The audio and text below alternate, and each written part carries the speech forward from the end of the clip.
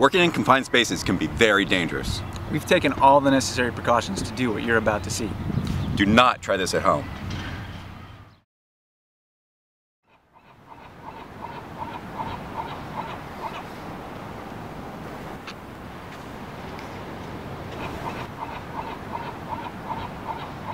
We're in San Jose Creek. This is site uh, SJ1 of our Goleta Stream Team project. Uh, several months ago, our volunteers were out here um, at exactly this location. This is a conductivity meter. It's essentially measuring salinity. And this being a freshwater stream, we would expect it to be pretty fresh, right? Well, our volunteers were out, and the measurement they collected, um, this, the, the state water quality objective is around is three three millisiemens. This stream is usually somewhere between one and a half to two. And you can see right now, it's a similar condition as when our volunteers were here. It's at about 10. Okay, so that's three times above the, the limit. So we're gonna walk upstream and see if we can figure out what's causing this increase in salinity.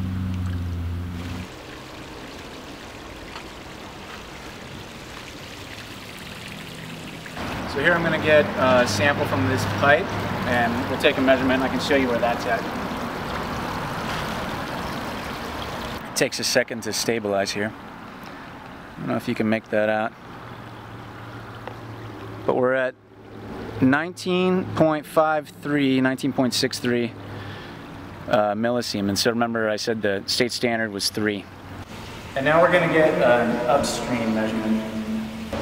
We're basically at 1.94. So the pipe was around 19, 18. We're at 1.9 upstream. Okay, so we didn't actually know that this pipe was going to be flowing when we came out to, to do this today. Um, we, we basically just got lucky.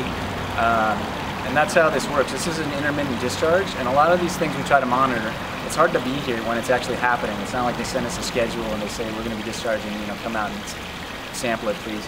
So um, this is one way we're going to try to address this problem. Today we're going to be installing uh, a salinity logger up inside the pipe. And what this does is it basically takes a salinity measurement every five minutes. We're going to leave it here for uh, several weeks.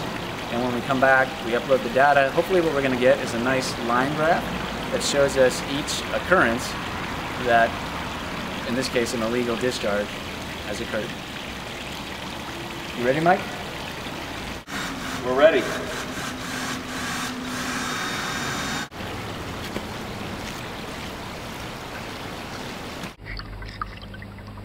deep now. No, the I mean the water. You know. Channelkeeper notified the city of Goleta uh, when we originally found this discharge. The city um, was very helpful in actually identifying the source of the discharge, the, the company that was um, producing the waste. Now, as it turns out, the state ordered this company to cease its discharge over two years ago, but unfortunately, they failed to follow up. So now the city has issued the company a new deadline, and we're installing this sensor to basically ensure that the city and or Channelkeeper have the data that we need to enforce these violations if the deadline is not met.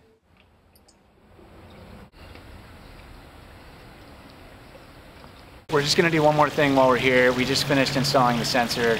I'm going to fill up a bottle that we're going to send to a lab and analyze for metals. We're doing this because the particular uh, process that this business has been doing, it's been discharging zinc and copper, um, which are both toxic in the aquatic ecosystems. Um, we've had a few samples before of this discharge, and each time we've sent it to the lab, um, the results have exceeded all the state limits for those metals. They're in toxic concentration.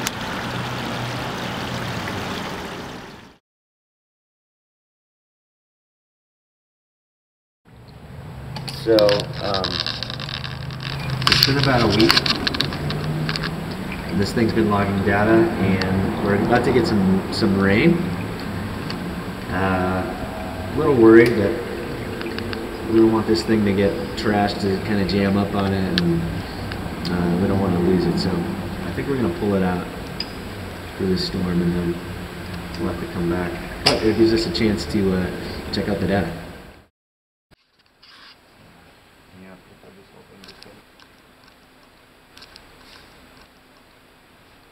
Here we we are back in the office. Um, you can see we've connected the sensor uh, to the computer and we just plotted the output and you can see that um, it did a pretty good job at detecting discharges. It looks like about every 12 hours um, there's been a discharge.